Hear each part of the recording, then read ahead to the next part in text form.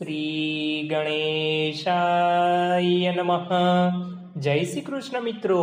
સ્વાગત છે તમારું આપણી યુટ્યુબ ચેનલ ભગવત સ્મરણમાં. આજે આ વિડીયોની અંદર આપણે જાણીશું, શરદ પૂર્ણિમાના રાત્રિએ દૂધ પૌવા કે ખીર ધરાવવાનો સમય શું છે? આસો માસની પૂર્ણિમા તિથિને શરદ પૂનમ, માણેક કોઠારી, કોજાગર પૂર્ણિમા રાસોત્સવ તરીકે ઓળખવામાં આવે છે. આ તિથિના દિવસે ચંદ્ર સોળ કળાએ ખીલી ઉઠે છે અને વર્ષનો સૌથી પ્રકાશમાન ચંદ્ર હોય છે. આ દિવસે રાત્રે ચંદ્ર દર્શનના અને ચંદ્ર પ્રકાશ લેવાથી અનેક ગણા ફાયદા થાય છે. એવું માનવામાં આવે છે કે આ દિવસે ચંદ્ર પ્રકાશમાંથી અમૃતની ધારા પૃથ્વી પર વરસે છે. આ ચંદ્ર પ્રકાશથી કેટલા ફાયદા થાય છે તેની મેં વીડિયો બનાવેલી છે, જેની લિંકો નીચે ડિસ્ક્રિપ્શનમાં આપેલી છે.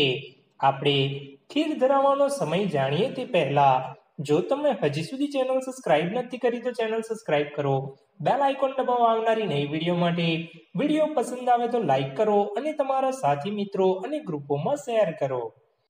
હરીમ ચંદ્રમશે નમઃ. આસો મહિનાની પૂનમ તિથિની શરૂઆત આઠ ઓક્ટોબર બે હજાર બાવીસ શનિવાર રાત્રે ત્રણ અને બેતાલીસ મિનિટે થાય છે. તિથિની સમાપ્તિ નવ ઓક્ટોબર બે હજાર બાવીસ રવિવાર રાત્રે બે અને ચોવીસ મિનિટે થાય છે. પૂનમ તિથિ ચંદ્રોદય પ્રમાણે હોય છે માટે નવ ઓક્ટોબર રવિવારના રોજ શરદ પૂર્ણિમા રહેશે. આ દિવસે ચંદ્ર દર્શનનો સમય સાંજે સાત અને દસ મિનિટનો હશે. ચંદ્ર સૌથી વધારે પ્રકાશમાન રાત્રે દસથી એક વાગ્યા સુધી રહેશે. માટે આ સમય દરમિયાન ચંદ્ર ભક્તિ તથા દૂધ પૌવા કે ખીર ધરાવવા માટે ઉત્તમ સમય છે. મિત્રો, આ હતું શરદ પૂર્ણિમાના દિવસે રાત્ર ચંદ્ર દેવને દૂધ પૌવા કે ખીર ધરાવવાનો સમય. હું આશા રાખું છું કે આ વિડીયોમાં આપને ખબર પડી ગઈ હશે. અને તમારો કોઈ પણ પ્રશ્ન હોય તો કોમેન્ટમાં જણાવજો. હું એનો જવાબ અચૂકથી આપીશ. આપણે ફરી મળીશું નવા ભક્તિમય વીડિયો સાથે.